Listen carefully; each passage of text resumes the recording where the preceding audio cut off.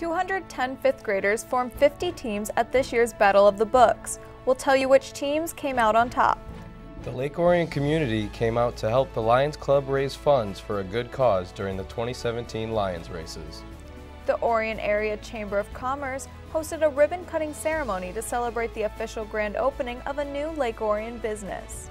And a fun night of bowling raised funds for Leader Dogs for the Blind, an organization that's been serving Oakland County almost 80 years. Hello, I'm Melissa Kratt. And I'm Shane Stockwell. We'll have those stories and more on this edition of ONTV News.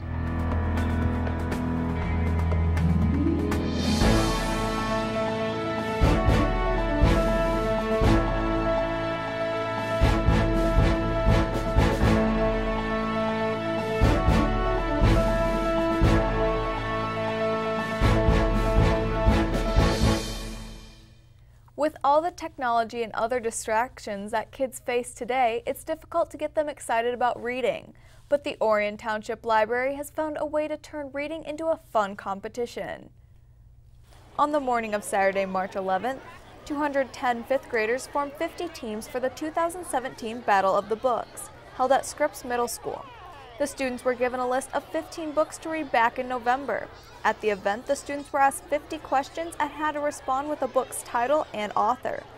Many of the teams were dressed in colorful costumes and came up with creative team names. They were so excited. I have to say, I think that this year were some of the most creative costumes that we've seen. They're always creative, um, but this year I just thought they were very funny with the team names that accompanied the costumes. Following the competition, the library staff tallied up the scores and the teams returned on Tuesday for an award ceremony held at Lake Orion High School. The evening kicked off with a presentation from author Alison DeCamp, whose book My Near-Death Adventures was one of the 15 books included in the competition. My great-grandmother in the uh, 1930s, um, she made my grandmother get married at 15, and she had my Uncle Stan when she was 16. And then the dad was out of the picture, so they had to work in lumber camps to make money. So that is where I came up with the what if idea of what would it be like to live in a lumber camp as a young boy with all these rough and tumble lumberjacks and not know who your father was. So that's where the idea came from, my own family history. Following the presentation, teams were called up on stage to receive a certificate of participation. Three teams with the highest score were saved for last. Finishing in third place were the Book Baristas with a score of 88. Coming in second was Reading Roundup with a score of 92. And named winner of the 2017 Battle of the Books was the nameless team representing Carpenter Elementary School. They came out on top with a score of 94. Um, I just had a really um, great time at the battle and at the ceremony. It was really nerve wracking, and I was really shaking when we started it, and it was really fun. And then, what was your reaction when you heard your team announced? I started becoming numb, and I could I can barely move right now. it really hurts. It's amazing. It was exciting and um, kind of competitive. And then finally, when they announced your name, the team name today, describe what went through your head, what your reaction was. Um, I was um, like really excited and I was mind blown that we won. Um, it was just really awesome because I didn't know my team would get this far, and it's just really fun. Describe what Saturday was like. It was just like really hectic because I was sick that day, but I still made it, um, and I just didn't know that it was gonna be like this way. What was the best part of Battle of the Books? Um, it was just coming together as in like a me, like just having fun, but also like doing reading and academics. Um, I don't know. It was just kind of surprising and really nice at the same time. Tell me the story of how you got your team name. Um, well, we were going to be the Bookslayers, but that name was already taken. So we didn't know what to be, so we felt nameless, and it went along with one of the books, The Nameless City, so it was good. Terrific. Um, would you recommend Battle of the Books to next year's fifth graders and why? Um, I would definitely recommend it because you get to read so many different books that you probably would have never read before, and you get to have new experiences. All the teams that participated received a gift bag. The winning team received gift certificates and will have their name included on a plaque that will hang in the library. Leader Dogs for the Blind has been a staple for Rochester Hills, Michigan since it was founded in 1939.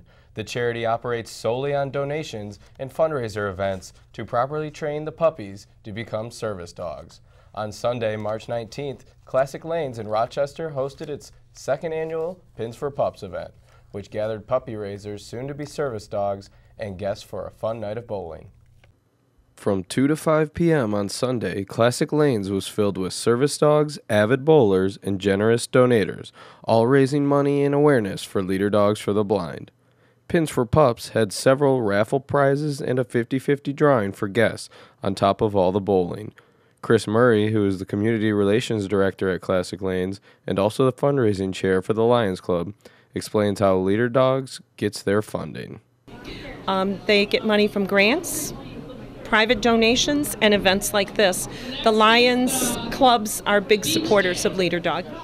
Murray set a goal to double the amount of money they raised last year, which was $4,500. Murray didn't have all of the totals in at the time, but she did state that they had surpassed last year's donations. Murray was very pleased with the turnout. Amazed, amazed with the turnout. Turnout was better than I anticipated. We had 15 lanes, so our capacity for bowlers was 75 to 90. Um, we maxed those out and we took the other two lanes that were available, and that's all that was available. If, if I could have gotten more lanes, I probably could have filled more lanes. Puppy raisers and their dogs were also in attendance at Classic Lanes, informing people with adoption information and other ways to help out leader dogs. Murray sees herself doing more fundraising events in the future for the Leader Dogs charity. If you would like to donate to Leader Dogs of the Blind or adopt a dog and become a puppy raiser, check out their website at www.leaderdog.org or call them at 248 651 9011 for more information.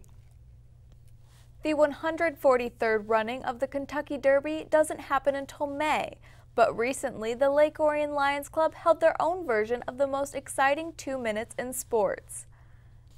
On Saturday, March 18th, the Knights of Columbus Hall on Orion Road was the site of the third annual Lion Races. 30 local businesses and community groups purchased wooden lions that they decorated for the big race. The creativity of the businesses in this community, absolutely awesome and a lot of fun. Attendees enjoyed a buffet dinner before the start of the races. At 7 p.m., the first race of the evening was underway. Six lions were lined up at a time, with large fuzzy dice determining which lion advanced. The first lion to reach the finish line received a medal, and attendees were encouraged to place bets on each race. There was a total of 10 races. There were also raffles throughout the night, and the lions representing Go GOP was named Best Decorated. The money raised at the event fully funds four-year college scholarships for two local graduating students. I am just so pleased to see everybody having such a good time, enjoying themselves, and helping the Lions Club support the Lake Orion community. The Lions Club is already gearing up for their biggest event of the year. The annual Jubilee will return to downtown Lake Orion on Thursday, June 22nd and run through Sunday, June 25th. For more information, visit lakeorionlions.org. Are you unsure about what to do after graduating high school? Is college the right answer for you? Oakland County has put together a business roundtable committee called Oakland Next to help answer those questions. On Wednesday, March 15th, Oakland Next hosted their first panel of speakers at Lake Orion High School. The 90 minute program had a variety of speakers who have found success in their career right here in Oakland County. Hundreds of Lake Orion students and families gathered in the Lake Orion High School auditorium on Wednesday, March 15th to hear Oakland Next first ever presentation. The guest speakers list consisted of CEOs, university vice presidents, executive directors, and co owners. Matthew Gibb, Oakland's deputy county executive, was one of the masterminds behind the career event and explained how Oakland Next came about.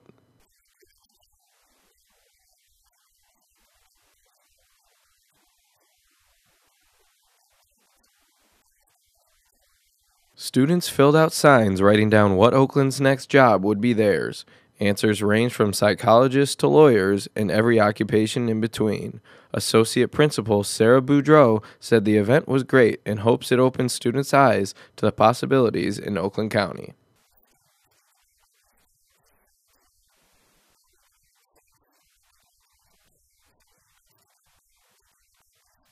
Students in attendance also entered their names into a drawing for a chance to win one of six $500 scholarships being offered by the Oakland Next Committee. Everyone from the crowd seemed very pleased with the presentation, and Gibb believes it will strike a chord with the kids.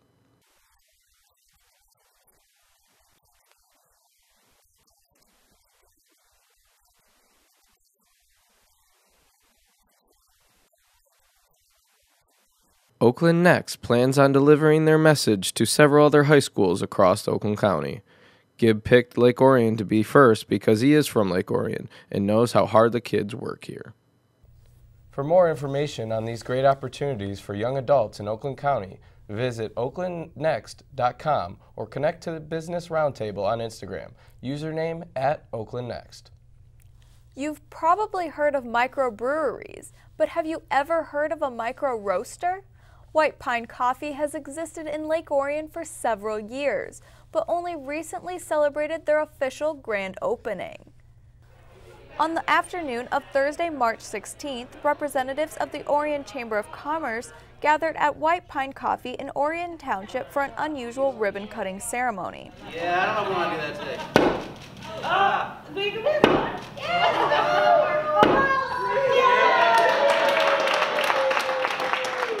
Actually, White Pine Coffee opened for business in 2013 and began roasting coffee beans at this location in 2014 using a hand-built Portuguese roasting machine. This is the formal completion of the facility. And, uh, at, at, times over the years, you may have seen it in various states of completion. Um, it is now done, and we are now uh, announcing ourselves to the world, to the local community. Uh, this facility is a coffee science facility. Um, it is, think of it more as a winery. We have a production floor coffee lab and coffee science facility. It's the easiest way to describe it. White Pines products can be found in 20 different specialty shops in the Metro Detroit area, and you can taste their coffee at several different cafes, including Crates Coffee on M24. You may have even seen them at the local farmers market.